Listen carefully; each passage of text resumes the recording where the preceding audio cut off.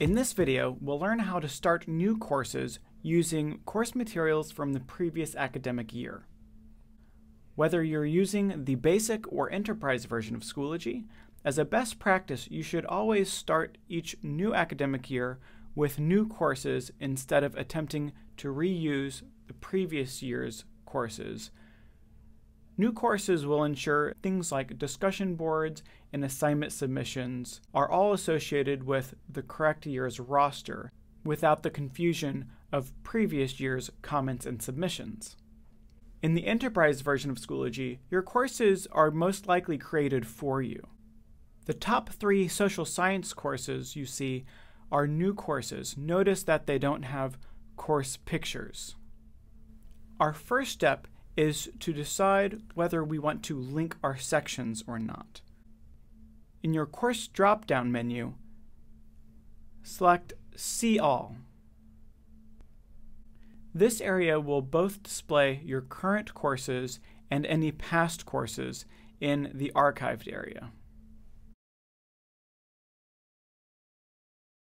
If you are teaching the same material across several periods to different groups of students, in the enterprise version of Schoology, you can link these sections together. This allows you to manage all of the materials for these sections in one place while keeping the rosters separate. In linked sections, you will still have the flexibility to assign different due dates to different sections,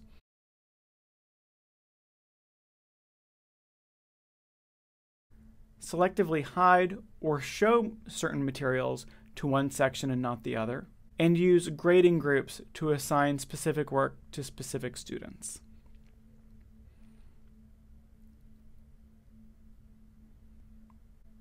To do this, Select what you would consider your master section, which could be any one of the sections.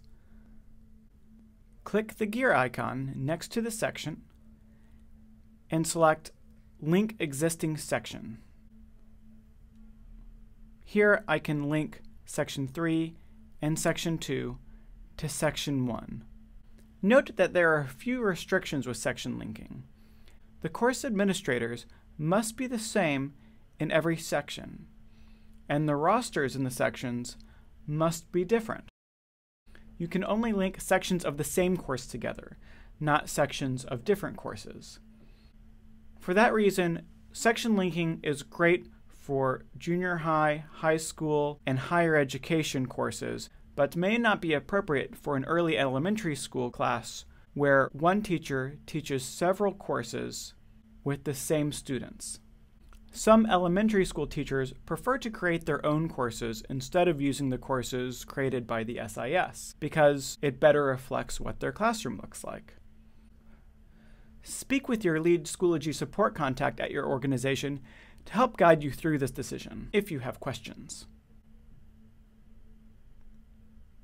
These three sections are now rolled up into one and I can manage them from one place.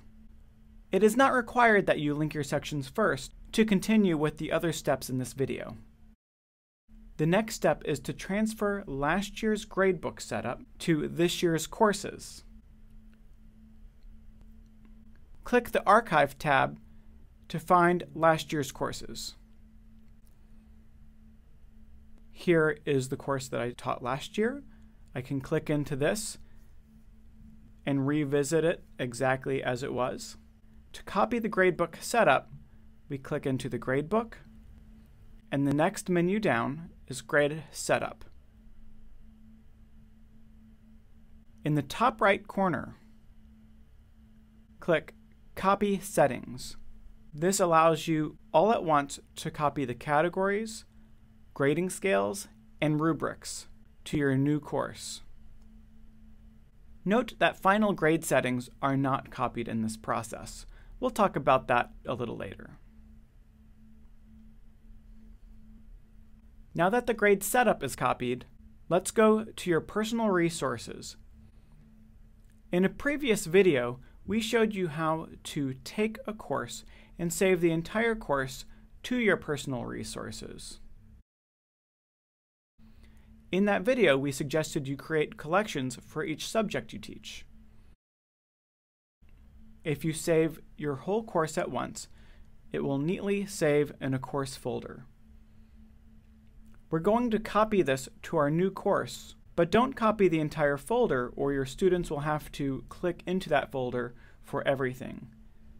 Instead, click into the folder, and here are the top level folders we want in our course. You can select all the folders at once, or select specific folders to copy into your course. Click the checkboxes, then click the Edit drop-down and select Add to Course. Now I'm going to pause here for a moment and explain one decision you can make at this point that can ensure starting new courses is as simple as possible. If your course spans only one grading period, you can select all your folders at once, click the Edit drop-down, select Add to Course, and continue forward. However, if your course spans multiple grading periods, I have an expert tip for you that hopefully will save you a lot of time. When you copy these materials into your course, automatically these items will be associated with the current grading period, in other words, if some of these items should be associated with quarter two, but right now, while I'm in this process, it's actually quarter one, all of the materials will be associated with quarter one. For that reason, if unit one and unit two here are topics I'm teaching in quarter one, but unit three is a topic I'm teaching in quarter two, I'll deselect unit three and wait until the new quarter starts to copy this item. Because when I copy it, again, it will automatically associate itself to the current grading period. So here I've selected Unit 1 and Unit 2. I select the Edit drop-down and choose Add to Course. Because I linked my sections, all of my social sciences sections 1, 2, and 3 are listed all together. At this point, Schoology confirms all of the items that are copying to my course. Note that this confirmation does not show you folders, but all of the organization will be retained. Let's scroll down and look at some of the options that are available from here. At this point, you could assign due dates. The max number of points will be carried through from last year. And here's the key. Because in the previous steps, we copied our gradebook. Our categories that we used last year will automatically be associated to this year's work.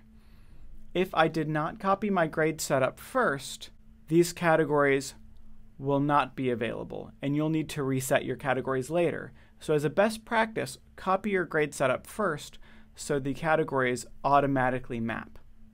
You'll see this assignment also used a rubric last year that rubric also stays attached. Generally, when you're copying items in bulk, you do not need to change any of those advanced options. We'll look at how to make bulk changes in a moment. Click Import to complete this process. Now return to your courses. Note that, again, these sections are all rolled up together. And here are all the materials we just copied. Now that we're starting to teach this course again, I may want to go to future units and folders and hide them from my students on day one. Clicking the gear icon, we can edit this folder and make it invisible to students. Because this is a linked course, we have separate visibility settings for each section,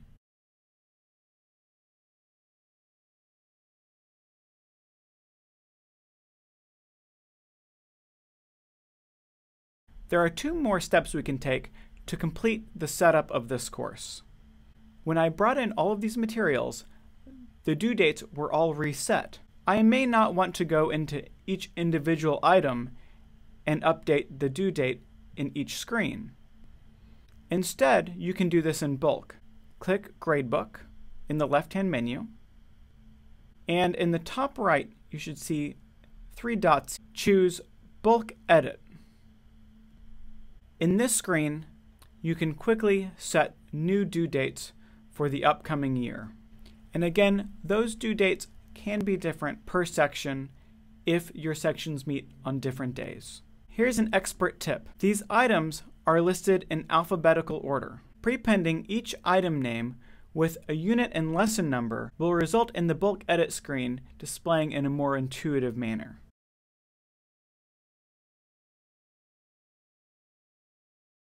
Renaming these items in your resources area during your academic break can save you a lot of time during the setup process.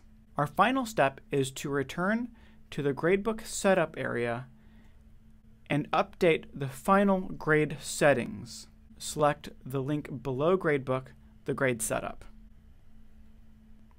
We copied all of our category scales and rubrics from last year's course, but we still need to scroll down here and change all of the final settings. If you do need to customize the weightings of your periods, the scale that is used to reflect final grades, and whether or not you are displaying or hiding those final grades, or if you need, for instance, a grade override column. If you have questions about this area, it's best to talk to the person at your organization who's responsible for the Schoology implementation, or the person at your grade level or department level who is responsible for decisions on how final grades are reported or calculated. This is sometimes an organizational decision, a grade or department level decision, or a personal decision, depending on your organization. Don't forget to save your changes when done. This course is now ready to go with all of my past materials, all of the gradebook set up, my due dates updated for each section, and of course, my final step will be to update a picture for this year. With your new course ready to go, you benefit from all of the work you put into your Schoology course last year.